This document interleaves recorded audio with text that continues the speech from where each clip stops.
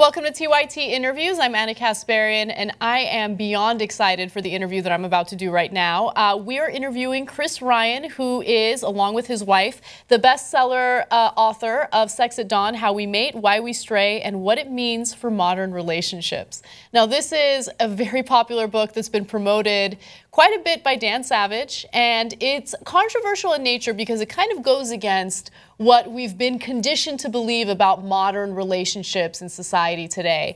And part of the reason why I'm bringing you back on TYT interviews, you have been interviewed by Cenk before, is because this is more a self-indulgent conversation. And, oh, I, good. and hopefully it helps other people who are in relationships, who question monogamy, and who want to learn more about you know what the reality is of relationships and what we're built for, what our biology is. So um, before we get into specifics, uh, I want you to give the audience just a, a, a synopsis, a, a general summary of what your book is about. Okay, it, it's essentially arguing that human beings are um, evolved to be extremely sexual animals. We're probably the most sexual mammal alive. If you just look at how many sex acts we have per birth. Gorillas, for example, have 12 sex acts per birth on average. Uh, humans are close to a thousand. Right. So it's clear just, I mean, there are many other arguments in the book, but that sort of crystallizes uh, one of the main points, which is that sexual interaction for human beings isn't primarily about reproduction. It's taken on other roles over the millions of years of our evolution, as it has for some other animals, specifically bonobos and chimpanzees, who are our two closest primate relatives by far and dolphins. And if you look, what do those four species have in common? Chimps, bonobos, uh, dolphins, and humans. They're all highly social, highly intelligent animals. And so sexuality in each of those cases has taken on a social role. It enables us to form these um, networks of trust and intimacy and cooperation that end up working out better for everyone. Right.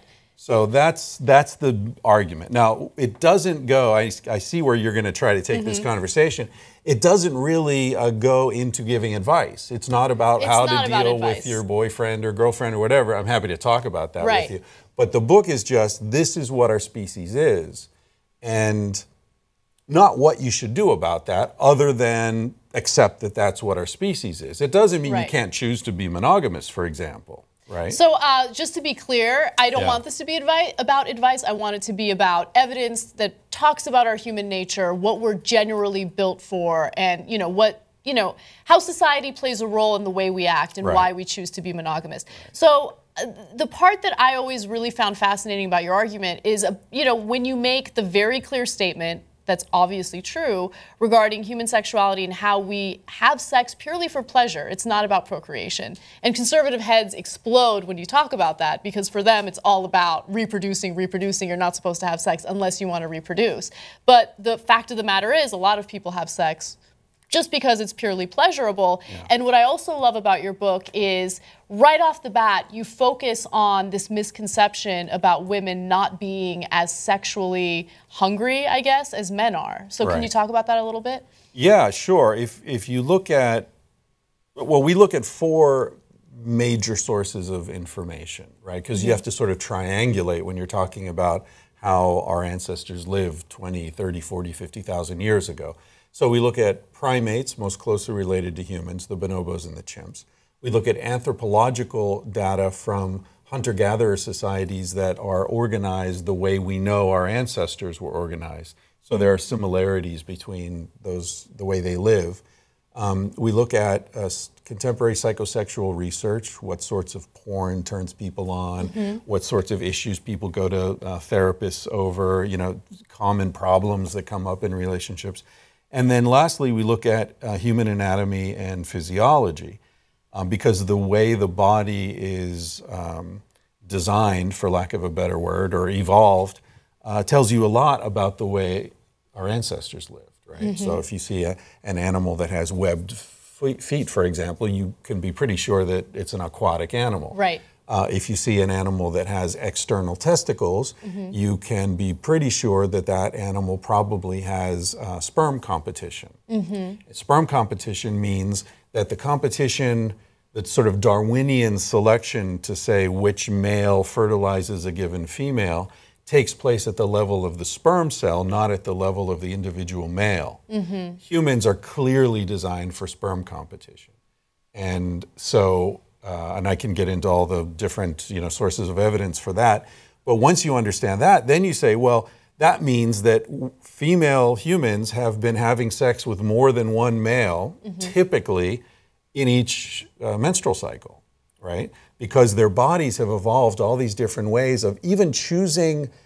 A woman can have sex with four different men in an hour, and her body has a way of preferring and giving advantages to the sperm cells from one of those men and sort of excluding the other men, mm-hmm, mm-hmm. even though she's had sex with four men in the same session, more or less, right? Right. So those things don't evolve if they haven't been functionally useful over time. That's so fascinating because you you do talk about Darwin quite a bit in the beginning of your book, and you you discuss the perfect little story that we've bought into. The story about how a man is you know, biologically driven to spread his seed, and a woman is biologi- biologically driven to be monogamous because she wants to have the caretaker help her raise that child.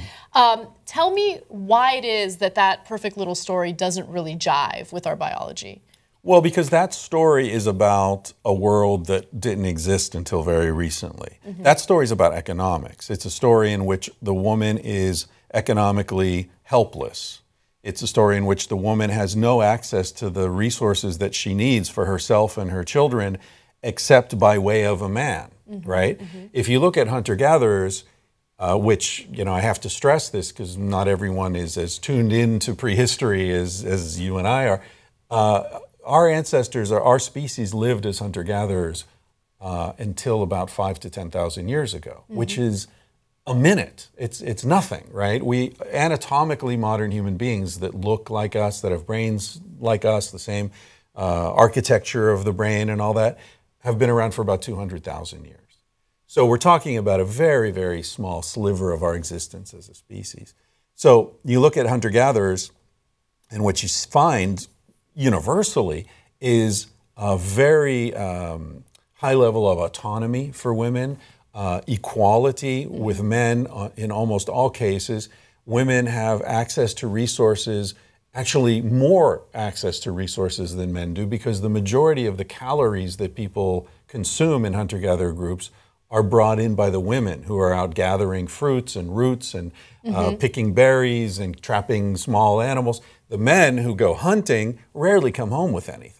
Interesting. So it's generally the women who have the food and the men who have to watch what they say or they're not going to eat, right? So I like that. the women bring home the bacon for, for lack of a better phrase, Yeah. right? So and also because the the environment contains uh, the necessities of life, you can't cut someone off from that, right? Someone can fire you and suddenly you can't get a place to live, you can't get food, you can't get the things you need. In a hunter gatherer society where everything is shared, there's no currency, there's no place to buy anything, what you need is all around. No one can stop you from getting it. So it's a mm-hmm. very different world. And the assumption that men needed, or sorry, that women needed a man to provide, that women needed someone to protect her and take care of her, just doesn't make any sense, even logically, but it certainly doesn't make sense in light of what anthropologists have demonstrated about the way hunter gatherers actually live. so things started to change when agriculture came about. Right. And and all of a sudden there's this imbalance of power and the the notion of monogamy really starts to take hold. Right. Yeah. The, the notion of monogamy is really a subset of the notion of property. And the notion of property wasn't active uh, until the advent of agriculture. If you look at hunter gatherers, you find what anthropologists describe them as fiercely egalitarian. Mm-hmm. So they're not just egalitarian, but they're very resistant against anyone saying, telling them what to do or trying to arrange things. or being possessive in any way. Exactly, mm-hmm. because and it, it- you know, and I want to stress this: we're not talking about noble savages here. Okay, we're not saying that they're naturally better people than we are. What we're saying is that in that environment, the most uh, efficient and um, productive way to live was to share.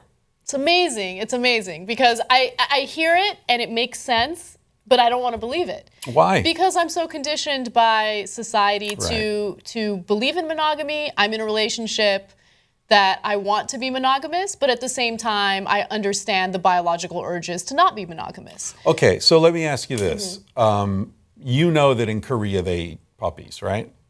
I do now. I didn't know that they Oh, ate puppies specifically. They eat dogs, puppies. I knew they ate, yeah. ate dogs, but okay. Cute little puppies. Okay.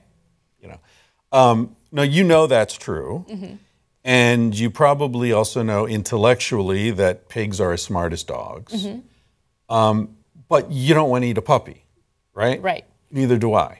Right? So I think there are two very different things here. In fact, in Sex at Dawn, you might remember we begin talking about food Mm-hmm. because I really wanted people to get this idea that something that you feel very intimately in your body is right or wrong is is determined by your culture in many cases. And the fact that you're able to think your way through it doesn't change what you feel. It's I know, and it's the most frustrating thing in the world. Like I, I, had a conversation with Cenk about this, and I told him that I believe, obviously I have no evidence of this. I believe that you can fight back against your social conditioning and train yourself to accept what the evidence proves. And if the evidence proves that we are not biologically driven to be monogamous, then I can somehow convince myself that it's okay to be in a relationship that's not monogamous. But then I think about my boyfriend and I think about what I would do to him if he wasn't monogamous and the, the feelings that I would have. And I it's just incredible to me that, you know, there are lots of people out there who are able to have these open relationships, who are able to accept Yeah. what the reality is. And it's because they have not only learned, but they truly believe in the difference between monogamy, not monogamy, intimacy, true intimacy, and sex. Those are two completely different things. So for someone who wants to not only buy into this, but also live this type of lifestyle, is there a way that you can undo the social conditioning? Or is it just too deep in us that there's no hope? Well, I think it's different for different people. Mm-hmm. I, I think, um, you know, getting back to the food thing, like I, I love uh, Anthony Bourdain's show, right, where he too. goes He's great. around and you know, and he eats all this crazy stuff. And I wish I were that guy. I wish that I'd be like, oh, you know, warthog anus, oh, yeah, sure, you know, serve it up. I'm not that guy. Mm-hmm. I'm just not, right? I'd have to be starving to eat some of the stuff that he eats. Even though intellectually I understand. You know, why does my culture tell me, "Oh, eat a eat a, you know, a pig's ass, you know, hind quarter. That's a pork chop, but a pig's brain is disgusting." Right. That makes no sense. It's, you know, in terms of nutrition or anything. Um, so it's completely arbitrary, and yet that is my feeling. For food, it's really hard for me to change. Other parts of life are maybe easier. Like I, I live in Europe. Soccer's great. I sort of forgot about American football pretty quickly, right? I don't Other people get up in the middle of the night to go to a bar and watch American football. They can't live without it. So I think it's a very individual thing how how much you can think your way out of uh, certain feelings. I think, and it, I it's not about how smart you are. I think it's just different people and at different times of life also um, find it more or less possible to do that. But I also think that people are. Um, I think it's a mistake to read a book like ours and say, oh, I see, our species evolved to be like this, so therefore I should be like that. I think that's every bit as much a mistake as people who say, you know, everyone has to be monogamous because that's what God said. Every, there's wide variation in our species on anything. Some people aren't sexual at all. Some people want to have sex every hour, uh, you know, or they go crazy. There, you know, I could argue that our species is highly sexual. That doesn't mean that everybody is highly sexual. Some people just aren't. So I think that it's very important to respect who you are. And if who you are is, I can't uh, take a relationship seriously if I don't know certain things, then be true to that. that that's completely cool. And, and that's who you have evolved to be. Right. you know? I mean, that's a, that's a really important caveat to take into consideration.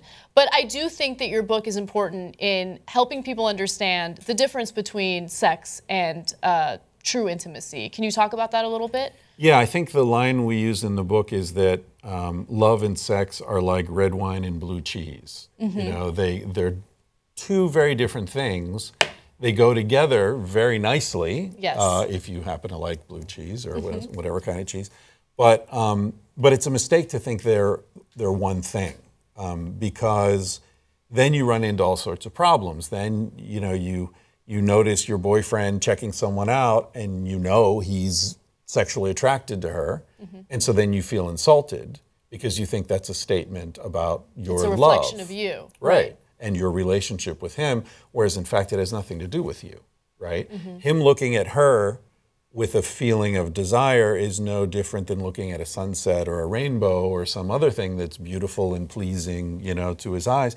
And so I think it's a great tragedy when couples paint themselves into these corners where they feel threatened by something that is unavoidable, which Right. is that you both will be attracted to other people. And that's natural. That's completely natural, unavoidable, and it's a source of pleasure and Right. beauty. Why piss on that? You know, there's nothing wrong with that. When- I, I remember having a conversation with you previously, and you told me about how your wife will point out attractive women and then be like, "Oh, afraid like uh, she doesn't want me to miss it. Like, hey, don't don't miss her. You know, she'll like squeeze my hand or something. Like, check her out. Yeah, she's That's amazing. But I mean, yeah, yeah, I'm all about that too. I totally do that. Why not? See, no, because absolutely, then you're sharing it. You're sharing it. You're and not in opposition. That's exactly right. I think the sharing it uh, component is so important because then it's it's no longer something that's you know covered in deception and lies, Right. and it's something that you're enjoying together as a couple, which is a completely different story. I think that a lot of the fear comes from losing that person, right? So Right. so if this person that I'm with, that I love, that I, I'm intimate with, admires the beauty of someone else, well, I run up. I run into the issue of possibly losing that person. Right. But let's think that through a little Mm-hmm. bit, right? First of all, any relationship can be lost at any time, right? So the idea that somehow you're uh, lessening the chances might be, or eliminating the chances, is completely makes no sense, right? Um, and in fact, I think that what often happens is that by forcing our partner to accept a lie, mm-hmm. which is that you're not attracted to anyone else, uh-huh. and I'm not attracted to anyone else and never will be, then you're basing your relationship on something that you both know is false. And so then your partner's in a position of saying, eventually coming to a point saying, well, so I need to keep living her lie or his lie. And I just don't, I can't live that lie. Mm-hmm. Right? It's like, it's like uh, one of you is bisexual and the other says, but you can never look at a, another man. Well, I'm bisexual, leave me alone, you know? Right. So I think w- a lot of couples, out of fear of losing or fear of losing the relationship, they end up structuring the relationship in a way that's self-destructive. You know, um, I know people, for example, uh, friends of mine have an open marriage, and I was talking with uh, the man about this, and I said, "What do you say about you know people think it's it's risky?" And he's like, "Dude, I would never leave this woman. Are you kidding me? Mm-hmm. Why would I leave her? Like I I have a girlfriend, and my wife is really nice to her, and sometimes we have three ways, mm-hmm. and I'm going to leave this woman? Hell no. Does it go both ways though? Does, does Yeah. she get to fool around as well? Does she have a boyfriend? Yeah. Amazing. That's an amazing setup. Well, there's a lot of that out there. How, how does jealousy play a role though? So let's say you're not even worried or concerned about your partner leaving you. How does jealousy come into play? I mean, it's inconceivable that people don't get jealous, even in a very Sure. open minded, open relationship like that. Well, I think what polyamorous would say is that, um, by the way, polyamory, for people who don't know, basically means that you can have several different ongoing relationships at the same time, uh, and you're not lying to anyone. Yeah, which by it. the way sounds exhausting. but some people are up for it and they Yeah. do it and they love it. Sure. Um, but what they say is that, sure, jealousy is unavoidable. Um, and but jealousy, like any other form of discomfort, is a learning opportunity uh, for the individual who's experiencing it and for the couple who are dealing with it together. So it can be an opportunity to work through something together that then leads you to a place where you're even more intimate. Because jealousy is an expression of insecurity, mm-hmm. right? And so any expression of insecurity is an admission of vulnerability, mm-hmm. and admitting vulnerability is the way to get closer to someone, mm-hmm. right? It's the the sort of royal road to intimacy is admitting your fears, right? And that's why we want to love someone that we can admit our fears and they can help us and we can learn together. So, uh, you know, what they would argue is that jealousy is a great opportunity to work through stuff, to think about why. Why are you so afraid? Why uh, did me looking at that particular person freak you out? Or why is the idea of me having a date with that particular person, um, the, you know, so troubling for you? And, and it also gives you a chance to sort of work out the rules, right? Like a lot of relationships who get into these sorts of things, they establish rules. You know, Right. like, you know, uh, I have a veto, for example. That's a common one. Like you can, okay, in theory, it's cool. You can see other people, but you know, if if that guy really creeps me out, I have the right to say not him. Yeah. You know, that's a common one. Or you know that that it's all renegotiated. You know, Mm-hmm. like uh, the woman gets pregnant. Well, that's probably a deal breaker for a while anyway, right? Yeah, I mean, yeah. I can't deal with you going out on dates when I'm home feeling horrible, and you know, so the idea that that these sorts of relationships are static or like you get into a certain kind of thing and that's it, it's not. That doesn't work that way So they're fluid. they're very fluid and the ones that are successful are the ones where the people love each other so much that they're both constantly um, checking in and making sure the other person's all right. It's not about causing pain to the person that you love at all. It's about what it's about is trying to have the person you love have the most pleasurable, wonderful, rich existence they can possibly have. That's amazing. Yeah. And you know, we have to admit we can't be everything to someone. yeah. You know. Um, so I don't know if you have any expertise in this area, but I'm going to go ahead and ask you because you just made me remember something that I was researching earlier this year. So I came across um, the fetish that's referred to in porn as cuckolding, right? And so I tried to understand the psychology behind that because it seems so odd to me. Like, why would someone, a married man, find pleasure in just watching his wife sleep with someone else? And in some instances, men get a lot of pleasure out of his wife humiliating him as he sleeps with someone else. And so, as I was researching the psychology behind it, I found that some guys get really turned on by the competition. Um, like it, it's it's erotic for them. It really, really turns them on. Do you know anything about that? Have you looked into that at all? Sure. Um, as far as getting really turned on by it, there's some interesting physiological research in that area that shows that when, let me see if I remember this, when a, a man hasn't seen his partner for a few days, like she's been away at a business trip or something like that, and then they get together again, uh, sex will be much more um, rigorous, I guess is the word, and uh, his sperm count will be much higher when he ejaculates than if they had been together for three days and they just hadn't had sex.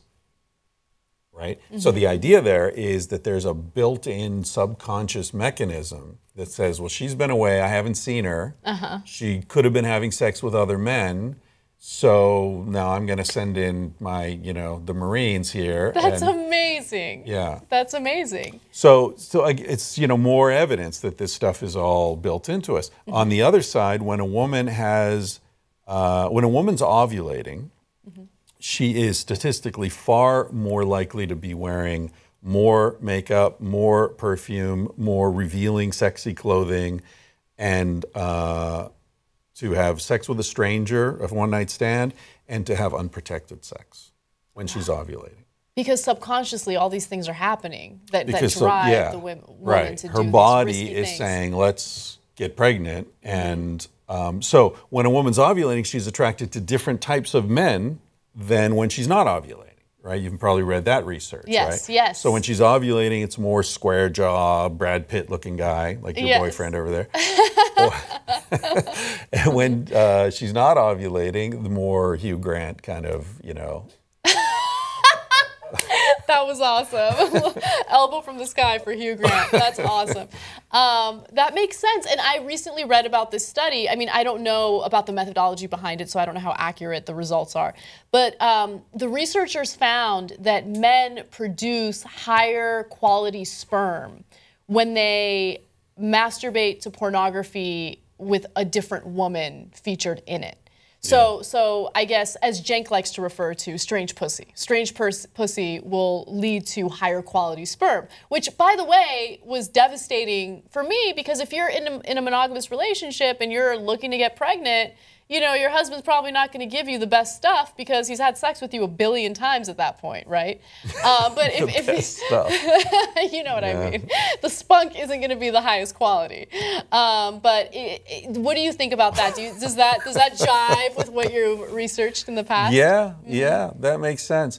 And you know, it's not just men; it's it's male mammals in general. There are a lot of examples of this sort of thing. Uh, when I was researching sex at dawn and this particular topic, I remember reading about uh, farmers, I think, and they, who were um, had bulls that they were trying to, um, you know, inseminate cows with these bulls, and the bulls would come in and have sex with the cow, you know, a couple of times, and then they'd just be like, nah, uh, you know, been there, done that kind of thing. So then, what the farmers would do would take a blanket and uh-huh. rub it all over a different cow, and then put it on the same cow that they were trying to get the bull to fuck. And the cow, the bull would come in and smell like, oh, this is a different one, and you know. Oh my God. So I think, I mean, this is just completely talking out of my ass here, but I think that's why women keep changing their hairstyles and change the look and like, look, it's a new me, you know? Right. Yeah. I mean, it makes sense. Yeah, I mean that's I think a lot of people do do things like that to spice up their sex lives and, and keep things interesting. Yeah. Um, but that's not to say that just because someone is more attracted by something that's strange, something that's different, that their partner is someone that they lose interest in or they love Exactly. less, right? Because Sure. again, there's a difference between the sexual excitement and the actual intimacy that they feel for their partner. Well, and see, this is one of the, I think, important things about um, new relationship paradigms like polyamory is that these things get discussed and studied, and and um, there become there's a language for it. So, for example, in polyamory, what you're talking about is NRE, new relationship energy. Yeah, Right. and I love that shit. Right. I'm addicted to Everybody it. loves Yeah. Mm-hmm. that shit, right? Because that's the magic. That's Yeah. the, you know, this person thinks I'm incredible and I can't wait to be with her. And you can't think it. That's uh, not love, Mm-hmm. right? That's NRE. That's new relationship energy. And so in these polyamory communities, that's understood. Like, oh, that's that's going to last a couple of months, Mm-hmm. you know, and then you'll arrive at reality and then we'll see. And when you understand that that's just what that is, then you don't leave your husband for it. You know, you don't leave your wife. And if there's a space in your life to enjoy that while it lasts and not have that be threatening to something that's sacred and profound in your life, then it's not as much of a threat. So I see that's where I get back to what I was saying earlier, like this idea, like, oh, I might lose this relationship if I let my partner think or do anything or whatever, is actually the opposite of the case. Right. Often. Right. You know the. You know, I always feel like, uh, you know, if I were in a cage, let's say, Mm-hmm. uh, that was comfortable and nice and wonderful, and the door was always open, I wouldn't really be thinking about leaving. Yeah, I mean, I, I definitely know that the more possessive you are, the more likely you are to push someone away. Well, because that possession is an expression of insecurity. Right. And that insecurity manifests in so many different ways. Uh, in my, from my perspective, none of which are attractive, right? Um, because, uh, you know, we're all insecure, but but my my feeling, and my wife shares this feeling, is you know, maturity is working away from those things, not mm-hmm. denying them, but mm-hmm. working through them and getting to a point where you're not uh, so vulnerable and feeling insecure all the time. Yeah. And then you get old and die, and it never matters. It doesn't matter anyway. yeah. matters. All right, I could talk about this all day, but uh, we're running out of time, and I wanted to ask you Mm-hmm. one last question. So, Chrissy Teigen, who's this beautiful supermodel, Right. uh, recently got a lot of criticism because during a very casual interview, she had mentioned that she would never hire a hot nanny. Yeah. Okay. And she implied that, you know, men cheat, having a hot live in nanny is probably a bad idea. What would you say to that? Uh, do you agree with the criticism, or do you think that she has a point? She has a point. Of course she does. Yeah. Uh, hot nannies are hot, right? And uh, as you mentioned, uh, the Arnold Schwarzenegger situation. Oh, so you right? watched that. I did, yeah. I mean, it doesn't matter if the nanny's hot or not. Strange pussy is strange pussy. So Well, that's the thing, you know. And I mean, one great book I read years ago called The Erotic Mind, I think, Jack Morin. Um, he there's a, a sort of a little formula in there that I'll never forget. It's that attraction plus an obstacle equals passion. Okay, so think about that. Romeo and Juliet. Think about any love story you've ever heard. There was attraction, there was an obstacle, and the passion started to build, right? It's like water building behind a dam, right? It's mm-hmm. going to keep getting deeper and deeper and heavier until it finally goes over. And so when you remove the obstacle, you move in together, you get married, whatever, the passion starts to diminish mm-hmm. because there's no obstacle anymore, right? That's not your fault. That's not a bad marriage. It's not mm. his fault. That's just the nature of reality, you know? And so the hot nanny, like, okay, can't have that, yeah. right? But every day I'm seeing that every day, and she sees it, and she's attracted to the fact that I'm attracted, and it's forbidden, and uh, you know, so there's a nice big obstacle there. Yeah. So whether the initial attraction was significant or not, over time it's going to build because oh, it's forbidden. Yes. So, yeah, I think introducing that into your life is probably not a great idea unless you've worked this stuff out and, and it's And like, yeah, I don't care. it. Fuck the You're nanny. It's fine with me. All right. I don't know. That's the best nuanced answer I've gotten on that on that very honestly superficial issue. I, I love it. I love that you gave that great explanation. Chris Ryan, you Uh-huh. guys should check out his work, read his book. I guarantee you, you will not regret it. It was awesome, and you've been on the show so many times before, and I appreciate you coming back to talk to me about it. Anytime with you, Ana. All right, guys. I hope you enjoyed the interview, and we'll see you next time on TYT Interviews.